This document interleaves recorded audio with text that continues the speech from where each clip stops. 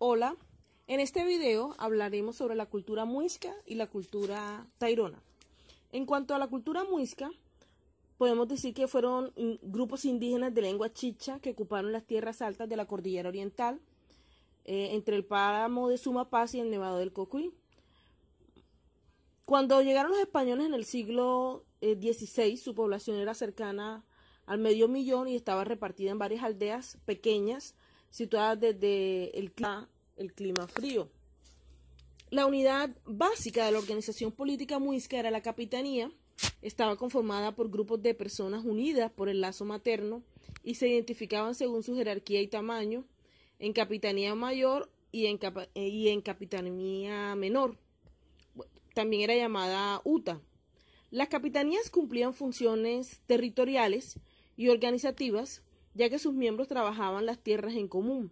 La unión de varias capitanías constituía un cacicazgo. Esta era la estructura administrativa, política y social muisca que se encontraba dirigida por un cacique, quien administraba los excedentes comunes y organizaba los trabajos de carácter comunitario.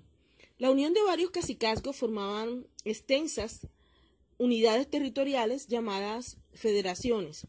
Cuando llegaron los españoles existían cuatro eh, federaciones, la Federación de Tundama Uduitama, la Federación de Sogamoso Iraca, la Federación de Unza o Tunja y la Federación de Bacatá. La base de la organización social muisca era el clan. Cuando varios clanes se agrupaban, formaban una tribu y varias tribus formaban un cacicazgo. La sociedad muisca era jerarquizada, es decir, que algunos miembros de la comunidad gozaban de mayores privilegios que otros.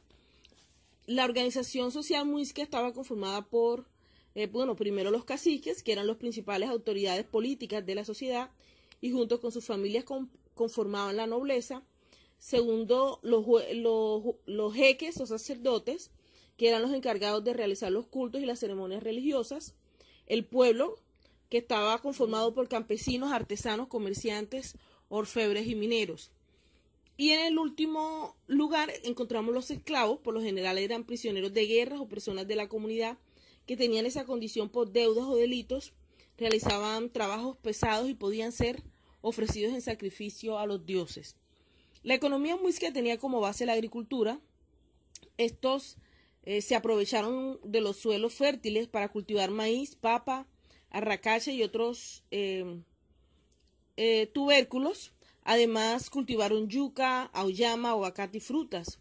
Como práctica comercial usaron el trueque, que consistía en intercambiar los productos que tenían en abundancia por productos escasos en su región. Eh, sal de zipaquirá, esmeraldas de muso, plumas y pieles de los animales de los llanos orientales. Eh, esta actividad era realizada en mercados y ferias. La religión era un aspecto muy importante de la vida de los muiscas. Explicaban sus orígenes y su vida estaba conformada por mitos y leyendas adoraban distintos elementos de la naturaleza y erigían templos en su honor. Eran politeístas y su principal dioses eran eh, Chiminigawa, el ser supremo y creador de todo, Bochica, que era el dios civilizador, Bachue, que era la madre de la humanidad, Suel, Sol y Chía, la luna. Entre los templos más importantes se destaca el de la Confederación de Irak, rendir tributo al Sol. Lamentablemente fue destruido durante la conquista española en 1537. Los muiscas poseían otros lugares de culto ubicados en sitios naturales, como las lagunas de Iguaque y Guatavita. Esta, esta última era tan importante para los muiscas que, según la leyenda, allí arrojaban tesoros en ofrendas a los dioses. De allí nació la leyenda del Dorado. Los muiscas se caracterizaron por eh, realizar celebraciones con motivos de los tiempos de cosechas o en honor al cacique. Eh, el baño en las lagunas o los ríos era una práctica frecuente y generalizada en la población, ya que tenía un significado ritual para los sectores de la sociedad. Las relaciones amorosas entre los muiscas se daban con relativa libertad, es así como se podía ver entre la comunidad uniones entre varias personas. Los hombres podían estar con más de una mujer eh, al mismo tiempo. En cuanto a la cultura tairona, también de lengua chicha, fueron uno de los grupos indígenas más importantes de nuestro país. La palabra tairona fue utilizada por los españoles para referirse a los indígenas que habitaban diversas zonas de, sierra, de la Sierra Nevada de Santa Marta. desde las costas del Mar Caribe hasta las orillas de ríos Cesar y Ranchería. La mayoría de la población se ubicó entre los 900 y 2000 metros de altura, pero luego fue, llegando a terrenos de mayor altitud. Esta cultura aprovechó la flora y la fauna de los diferentes pisos térmicos de la sierra y de las zonas cálidas. Los taironas vivían en grandes aldeas, algunas de las cuales llegaron a ser ciudades.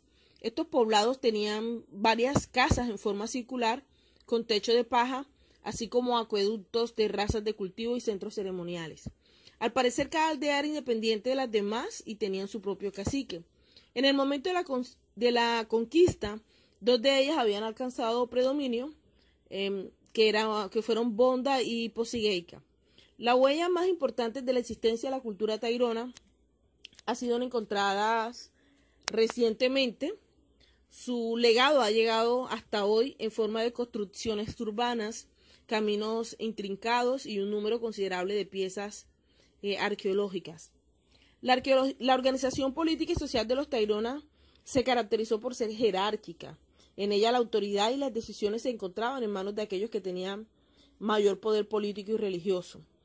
En primer lugar, pues estaban los caciques o jefes, los naomas o sacerdotes, los especialistas del oficio, en este caso eran los artesanos, los comerciantes, eh, tenemos los manicatos o guerreros, y en último lugar se encontraba el pueblo, pues que eran más que todos los agricultores y que, que mantenían, digamos, otros grupos sociales de la comunidad indígena.